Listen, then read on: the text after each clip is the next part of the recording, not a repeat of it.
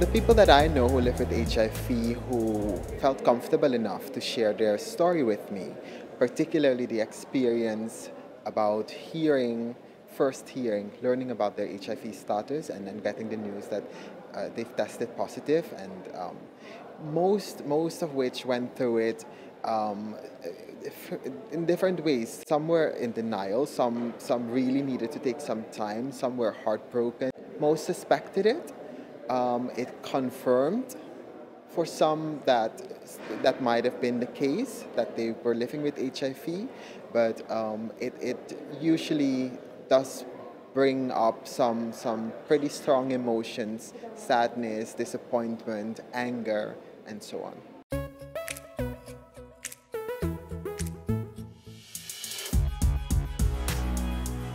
For instance, with my friends, um, they don't like to be pitied on, right? If they've gone through the process, if they're taking their medications, they don't want you to sort of approach them as if they're a victim, right? So that is um, something I've learned to be a big no-no.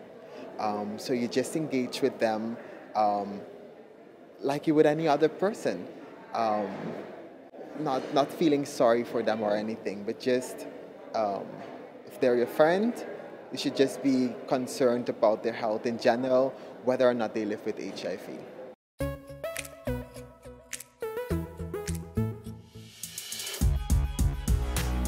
Sadly is um, a reality for most people in the Caribbean, particularly um, people living with HIV, uh, gender diverse uh, populations.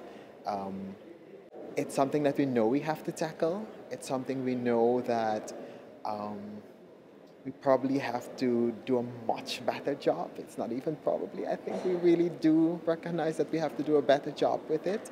There are um, some structural barriers that we need to um, get out of the way, uh, legislatively, socially, the norms and so on. But really, I think it's about learning how to engage with one another at the human level, person to person, to respect one another more, to be open to the diversity more.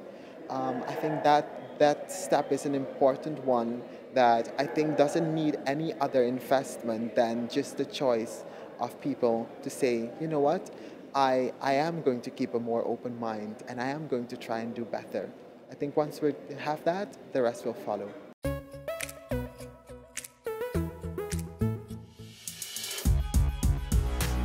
Be positive. I think it is important that people who have tested positive um, have a support system. Um, it often takes courage um, to, to share the news with someone.